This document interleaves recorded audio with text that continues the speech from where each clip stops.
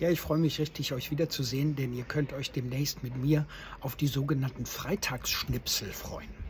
Was Freitagsschnipsel sind, ihr dürft's raten. Nein, ich werde es euch erzählen. Freitags werde ich auf YouTube oder hier auf Instagram euch bestimmte Schnitzel, Schnipsel, was auch immer, kleine Häppchen zur Verfügung stellen, mit denen ihr erfahrt, wie ihr eure betrieblichen Abläufe optimieren könnt. Dabei ist es vollkommen egal, ob ihr Unternehmer seid, Einzelunternehmer oder Kleinstunternehmer. Hauptsache, ihr tut etwas, nämlich eure Betriebe zu optimieren.